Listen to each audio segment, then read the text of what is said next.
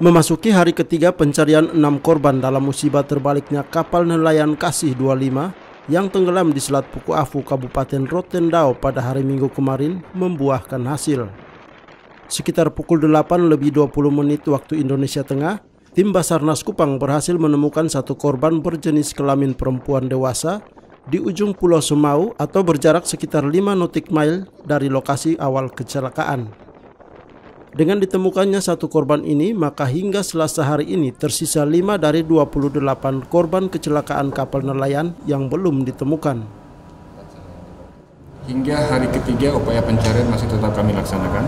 Dalam kesempatan hari ketiga ini kami mengerahkan alut laut, armada laut yaitu KN Sarantareja milik uh, Basarnas Kupang, kemudian KNP 340 milik uh, KPLP dan juga kapal kepolisian hingga pukul 8.40 hari ini uh, Selasa tanggal 7 Juli 2020 berhasil ditemukan satu orang korban jenis kelamin perempuan dewasa dalam kondisi meninggal dunia.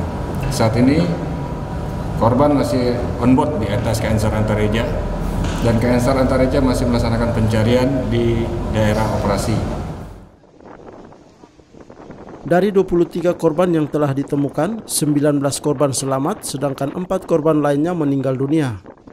Salah satu korban meninggal dunia saat sedang dirawat di rumah sakit, sedangkan tiga korban lainnya telah meninggal dunia saat ditemukan.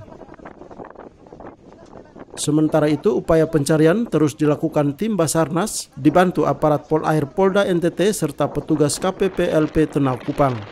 Pencarian dilakukan selain melalui jalur laut, juga melalui jalur udara dengan mengerahkan satu pesawat Demonim Air. Tim Liputan Kompas TV Kupang, Nusa Tenggara Timur.